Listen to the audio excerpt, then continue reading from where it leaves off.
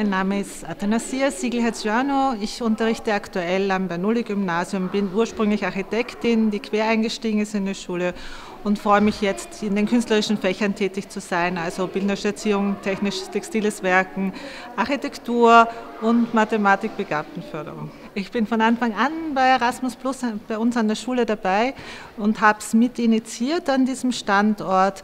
Warum ich das mache, ist es eine enorm bereichernde Erfahrung mit den Jugendlichen und äh, im Austausch mit anderen Schulen aus ganz Europa zu sein und vor allem sie auch vor Ort kennenzulernen, ebenso wie die Kultur vor Ort und die Feinheiten im täglichen Leben.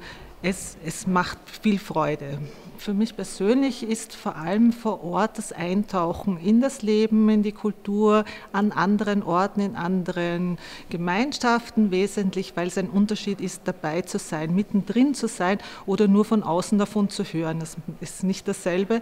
Und auch das persönlich Kennenlernen einzelner Individuen und das sind dann Beziehungen und auch Einblicke, die ähm, fürs Leben bereichernd sind. Das Besondere daran ist zu sehen, mit welcher Leichtigkeit die Jugendlichen kommunizieren. Also wenn sie vor die Aufgabe gestellt sind, in einer Sprache reden zu müssen, die sie nicht beherrschen, finden sie sofort andere Wege und andere Möglichkeiten und sind sich einfach einig und das macht wirklich Freude, da auch dabei zu sein bei diesem Prozess. Also in der Zusammenarbeit mit den anderen Schulen gibt es ja zuerst zunächst einmal die, die Distanz zu überwinden, das haben wir ja jetzt nicht erst bei der Krise, Corona-Krise gelernt, dass es über den digitalen Weg läuft. Das war bei Erasmus schon davor der Fall. Also da gibt es ja dieses Format mit E-Twinning, nur jetzt fällt es bedeutend leichter, weil alle das jetzt schon gewohnt sind, den Umgang mit ähm, Videokonferenzen und im Austausch, schriftlichem Austausch im Rahmen dieser elektronischen Medien. Und im Prinzip hat Erasmus das vorher schon gezeigt, das geht leicht.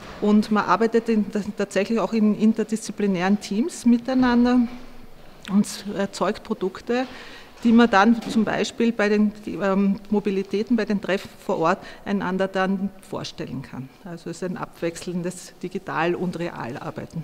Also hier im, schulischen Kontext, einerseits haben wir räumlich darauf reagiert, also eben Restflächen aufgewertet, indem wir sie zu einem Erasmus-Ecke umgebaut haben, gestrichen haben während des Lockdowns, die Kollegen zusammengetrommelt haben und auch ein schönes Gemeinschaftserlebnis hatten.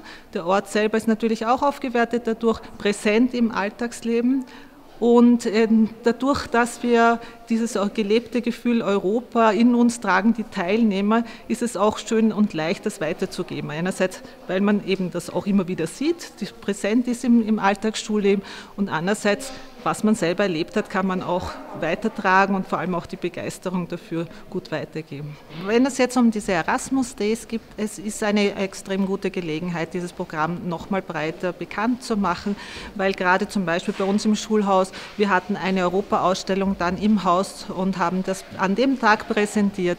Und das heißt, es ist eine niederschwellige Gelegenheit, dass alle Schüler einfach beim Vorbeigehen das nochmal aufschnappen. Also auch die, die bisher noch nicht involviert waren in dem Projekt, kriegen dann mit, da tut sich was und das ist spannend und da schauen wir nochmal genauer hin. Außerdem eine gute Gelegenheit, tatsächlich auch das Fachwissen dahinter, also die Strukturen, die dem Ganzen zugrunde liegen, auch bekannt zu machen.